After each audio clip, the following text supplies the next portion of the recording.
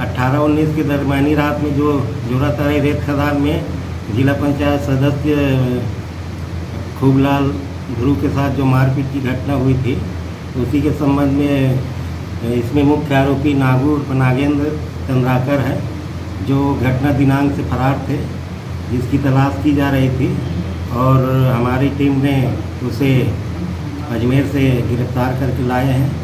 और आज उसके कार्रवाई कर रहे हैं। ये रुका है कि सर सबसे पहले ये कोलकाता रुका है महासमुंद होते हुए उसके बाद उत्तराखंड फिर उत्तर प्रदेश फिर दिल्ली उसके बाद आगरा आगरा के बाद फिर वो जयपुर जयपुर के बाद अजमेर। सर ये प्राइवेट अपनी गाड़ी से भगा था क्या? ये प्राइवेट गाड़ी है ना जो कि जब्त किया गया है स्कॉर्पियो है। सर ये घटना के पहले इनके खिलाफ और भी मामले दर्ज हो चुके हैं सर? हाँ दर्ज हुए हैं। तीन मामले हैं इसके पहले का। कहाँ कहाँ हुए सर? एक भखारा का है दो कुरूद का है। सर इनकी जो संपत्ति है भी जो जब्त की गई उसका भी क्या नहीं उसके संबंध में माननीय द्वारा माननीय न्यायालय द्वारा कार्रवाई की जा रही जो प्रक्रियाधीन है।